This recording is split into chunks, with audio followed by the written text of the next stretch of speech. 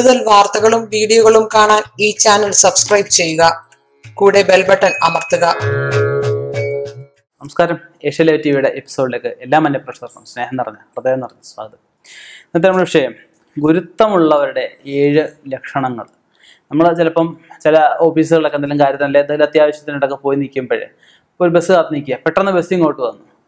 ഗുരുത്വമായി bus വന്നല്ലോ എന്ന് നമ്മൾ പറയും. ഇപ്പം ചില ഓഫീസിൽ ചെന്ന് നിൽക്കുക ഒരു പേന ഇല്ല. ഒരാൾ പെട്ടെന്ന് പേന കൊണ്ടുവന്നു. അല്ലെങ്കിൽ നമ്മുടെ കയ്യിൽ തന്നെ നമുക്ക് ആവശ്യമായ സാധനം ഉണ്ടായിരുന്നു. അപ്പം എന്തുവാ? ഗുരുത്വമായ ആ സാധനം എടുത്ത്. അല്ലെങ്കിൽ ചിലപ്പോൾ ഒരു റേഷൻ കട ചെല്ലുക അല്ലെങ്കിൽ എന്തെങ്കിലും സർക്കാർ ഓഫീസ് ചെല്ലുക കയ്യിൽ ഒരു ഡാറ്റ കൊണ്ട് അല്ലെങ്കിൽ ഒരു സാധനം കൂടെ നമുക്ക് വേണം. നമ്മുടെ കയ്യിൽ ഇതുണ്ട്. അയ്യോ എടുക്കാൻ തോന്നിയല്ലോ. ഗുരുത്വമായി ഇതൊക്കെ നമ്മളെല്ലാവരും സർവസാധാരണമായിട്ട് പറയുന്ന വേടുകൾ അല്ലേ? ഇപ്പം എന്താണ് ഗുരുത്വം? അറിവ് പറഞ്ഞു തന്നവരെ ഒരക്ഷരമായാലും പറഞ്ഞു തന്നവരെ ബഹുമാനിക്കുക. അവരുടെ അനുഗ്രഹം കൊണ്ട് നമുക്ക് നേടിയെടുക്കാവുന്ന കാര്യങ്ങളാണ് ഗുരുത്വം എന്ന് പറയുന്നത്. ഗുരുത്വ ദോഷമുണ്ട് ഗുരുത്വമുണ്ട് അറിവ് പറഞ്ഞു തന്നവരെ നമ്മൾ നിന്ദിക്കുന്ന അവസ്ഥയിൽ നമുക്ക് ഗുരുത്വദോഷം ഉണ്ടാകും ഗുരുത്വദോഷം ഉണ്ടാവും ഒരു കാലത്തും രക്ഷപ്പെട്ട് കണ്ടില്ല ഒരുപാട് കഴിവുകളുള്ള വ്യക്തികളൊക്കെ നമ്മൾ കണ്ടില്ലേ?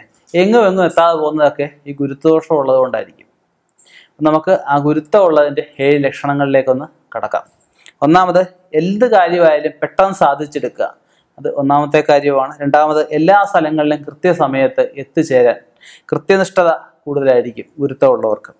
മൂന്നാമത് ബഹുമാനിക്കപ്പെടുന്ന എല്ലാവരാലും ബഹുമാനിക്കപ്പെടുന്ന പദവികളിൽ നിൽക്കുക. അതുപോലെ തന്നെ ഓർമ്മശക്തി ബുദ്ധിശക്തി കൂടുതലായിരിക്കും. എല്ലാ കാര്യങ്ങളെയും മുൻകൂട്ടി കാണാനുള്ള ഒരു കഴിവും ഉണ്ടായിരിക്കും. അഞ്ചാമത്തെ നഷ്ടങ്ങൾ ഇവർക്ക് പൊതുവെ കുറവായിരിക്കും. ലാഭങ്ങളായിരിക്കും കൂടുതൽ. വാക്കിന് സത്യത്തിനും വില കൽപ്പിക്കുന്നവരായിരിക്കും. ആവശ്യമുള്ള സമയത്ത് ഞാനിപ്പോൾ ആദ്യം പറഞ്ഞ പോലെ തന്നെ വേണ്ട കാര്യങ്ങൾ വേണ്ട സമയത്ത് നമുക്ക് കിട്ടും. കിട്ടേണ്ടുന്ന കാര്യങ്ങൾ കിട്ടേണ്ട സമയത്ത് കിട്ടുക. ഇത് ഗുരുത്വത്തിന്റെ കൂടെ ഒരു ഭാഗമാണ്. സുഹൃത്തത്തിലും നമ്മളിത് പറയാറുണ്ട്. ഇത് ഗുരുത്വത്തിന്റെ ഭാഗമായിട്ട് പറയപ്പെടുന്നു. അപ്പം ഈ കാര്യങ്ങൾ കറക്റ്റായിട്ടുള്ള ഒരാൾക്ക് ഒരിടത്തും തോൽവി ഉണ്ടാവത്തില്ല.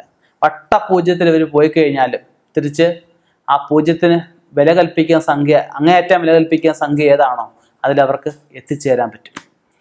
എത്ര സാമ്പത്തികം ഇല്ലാതെ നിൽക്കുന്ന എത്ര നിർധനായിട്ടുള്ള ആൾക്കാരായാലും ഈ ലക്ഷണങ്ങൾ അവർക്കുണ്ടോ?